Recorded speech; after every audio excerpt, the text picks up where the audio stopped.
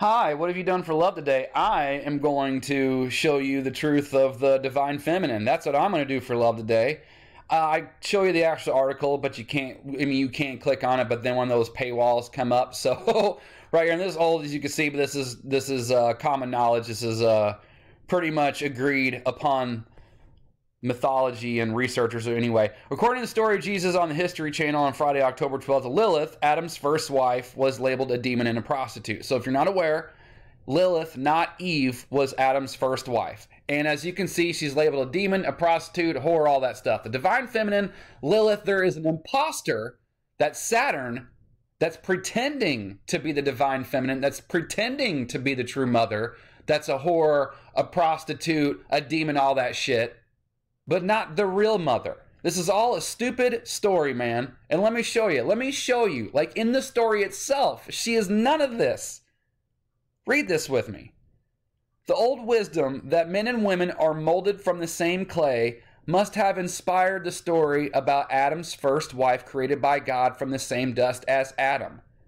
Her name was not Eve, but Lilith. Their having been created on an equal footing had terrible consequences because Lilith wanted to have sex on top, and she insisted on her right to do so. According to some variants, Adam refused this, divorced her, and sent her away. But in other versions, she was the one who abandoned him. She pronounced the name of God. Okay, so there's all these different variations of it basically coming down to sex being done with one of them on top, and they can't agree on it. So, did you read the story? Let's read it again. Her name was not Eve, but Lilith. Their having been created on equal footing had terrible consequences because Lilith wanted to have sex on top and she insisted on her right to do so. And then, according to some variants, Adam refused this, divorced her. So, here's so she was a whore, and it came up like, hey, because this is always in, in the story Adam. It was Adam's idea that said, we're going to do this. And she goes, no. And then Adam goes, we're going to do it this way. We're having sex this way. And she goes, No. And then off she goes, sent her away. She abandoned him, whatever. So if she was a whore, she would have been having sex any way Adam told her to, right? But not only did she say, I'm not having sex that way, she said, To hell with this, I'm not having sex with you anymore, period. Packed her shit and left. See what I mean about all this? And see, I just, I can't help it. I'm real passionate about this stuff because there's all these different versions of of these of of her uh, people claiming to be mom, people claiming to be God. And I just found another one. I've been watching her on Twitter for several months now. And as I've shown you in that beautiful video, that awesome divine feminine goddess explaining uh, the Jezebel spirit, how the Jezebel spirit, the imposter whore, will always show itself.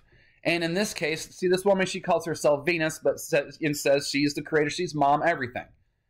And then finally, just a couple weeks ago, she called herself a demon, which it, she is because all you have their actions speak louder than words. She is the imposter. And there's all these different women, and it's funny is they can't decide if they want to be whores or not. And in some posts, she's telling people how she's monogamous because she doesn't have the energy to be polygamist. And then another, uh, excuse me, post, she's like, I'm going to be polygamist and it, it just you never they're a, are a bunch of liars. They never follow through with what they say.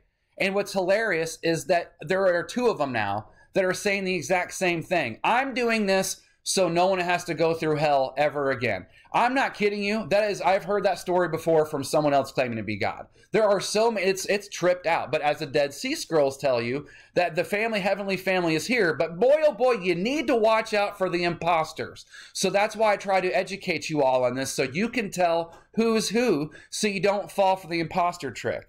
So, how is someone a whore if she's like, no, I'm not going to have sex that way, not going to have sex, period, with you anymore, and leaves. You see what I mean about the retardation that's happened? It doesn't make any sense. It's not difficult, people. It's just a big, big, big mind trick. It's a big mind trick. And why do they do that?